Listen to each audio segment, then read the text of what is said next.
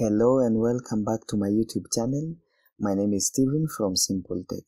So in today's video, I'm going to show you top 5 best media players for Windows 10 or any Windows operating system. So the number 5 on the list is MPC, that is Media Player Classic.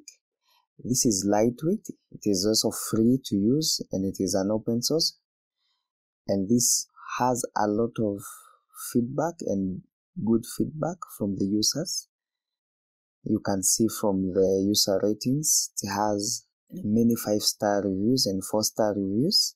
So this is a good media player to start with. So number four on the list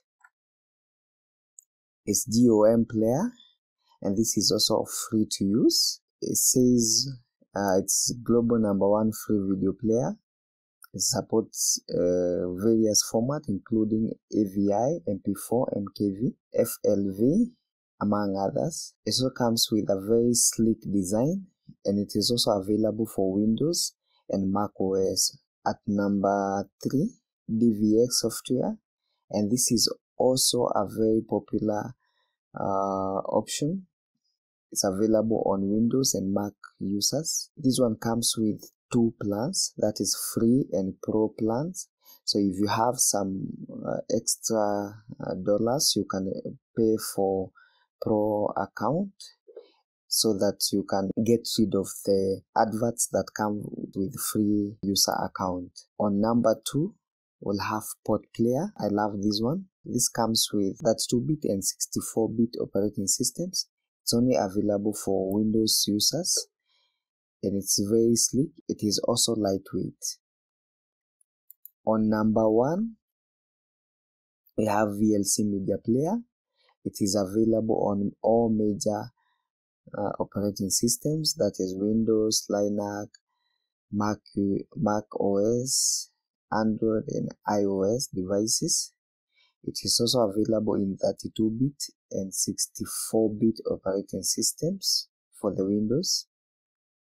It is also highly customizable. You can add skins, you can install extensions, you can also create skins with a VLC skin editor, among others.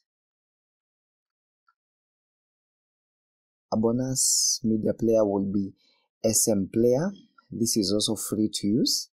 It also supports many video uh, formats so you can also try this one if you are low on space. That is if you don't have uh, a big ram or big space on your machine. So this one can be also an option available to you. So thank you so much for watching this video till the end. Like and subscribe to my youtube channel.